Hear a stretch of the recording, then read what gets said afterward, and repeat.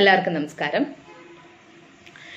ഞാൻ ടീച്ചർ വെറുതെ വെറുതെ നിങ്ങളുടെ അടുത്ത് സുഖമാണോ സുഖമാണോ ചോദിക്കുന്നില്ല. എല്ലാവരും സുഖമായിരിക്കുന്നു എന്ന് വിചാരിക്കുകയാണ്. എല്ലാവരുടെയും സുഖത്തിനും സന്തോഷത്തിനും വേണ്ടി പ്രാർത്ഥിക്കുകയാണ്. നമ്മുടെ സ്കൂൾ തുറക്കാറായി അറിഞ്ഞല്ലോ അല്ലേ? ചിലപ്പോൾ സെപ്റ്റംബറിലൊക്കെ തുറക്കും. ഓക്കെ.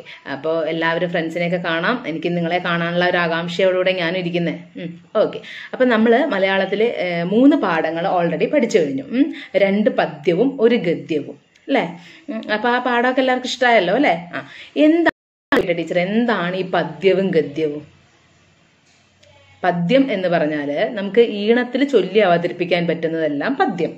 പെട്ടെന്ന് വായിച്ചു തീർക്കാൻ പറ്റുന്നതെല്ലാം ഗദ്യം എന്ന് പറയാം. ഒറ്റ വാക്കിൽ. പക്ഷേ പദ്യം എന്ന് പറയുന്നത് നാല് തരം നാല് ലൈനുള്ള ഒരു ശ്ലോകമോ അല്ലെങ്കിൽ ഗാഥ നമ്മുടെ ചെറുശ്ശേരിയുടെ കൃഷ്ണഗാഥ ഉണ്ടല്ലോ അതുപോലെ രണ്ട് രണ്ട് വരികളുള്ള ഈരടികളുള്ളതും ഇല്ലെങ്കിൽ നാല് വരിയുള്ള ശ്ലോകത്തെയാണ് നമ്മൾ പദ്യം എന്ന് പറയുന്നത്. പദ്യത്തിൽ നമ്മൾ ചിലപ്പോൾ ഒറ്റ വായനയിൽ നമുക്ക് അർത്ഥം മുഴുവൻ മനസ്സിലായിക്കൊള്ളണം എന്നില്ല. ഒരു വായനയിൽ തന്നെ നമുക്ക് എല്ലാം മനസ്സിലാവില്ല. വീണ്ടും വായിക്കും തോറും നമുക്ക് അർത്ഥം കിട്ടും. എന്താണ് കവി ആ കവിതയിലൂടെ നമ്മളെ ബോധ്യപ്പെടുത്താൻ ഉദ്ദേശിക്കുന്നത് എന്ന് നമുക്ക് മനസ്സിലാവണമെങ്കിൽ നമ്മൾ ഒന്ന് ഒന്ന് രണ്ട് ആവർത്തി വായിക്കണം. അതാണ് കവിത. എന്നാലോ ഗദ്യം അങ്ങനെയല്ല. ഈ കഥകളൊക്കെ ചെറുകഥകളൊക്കെ പ്രത്യേകിച്ച് ഈ മോറൽസ് വാല്യൂസ് ഉള്ളത് നല്ല നമുക്ക് ഗുണപാഠ കഥകൾ ഗുണപാഠങ്ങൾ ലഭിക്കുന്ന കഥകളെല്ലാം ചെറിയ ക്ലാസ്സിലൊക്കെ പഠിക്കുന്നത്. അപ്പൊ പെട്ടെന്ന് നിങ്ങൾക്ക് മനസ്സിലാവും.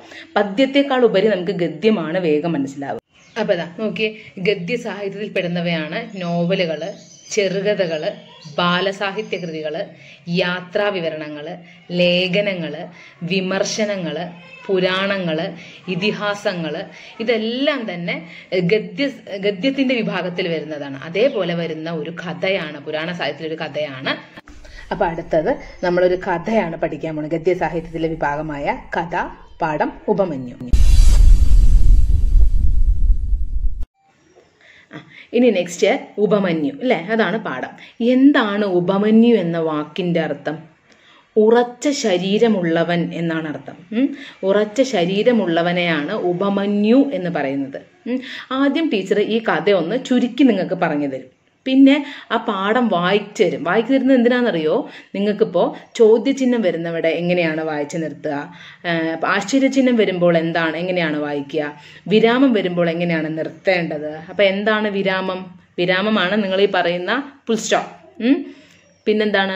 ആശ്ചര്യചിഹ്നം എന്ന് പറയുമ്പോൾ എക്സ്ക്ലമേഷൻ ചോദ്യചിഹ്നം എന്ന് പറയുമ്പോൾ ക്വസ്റ്റ്യൻ മാർക്ക് അല്ലേ?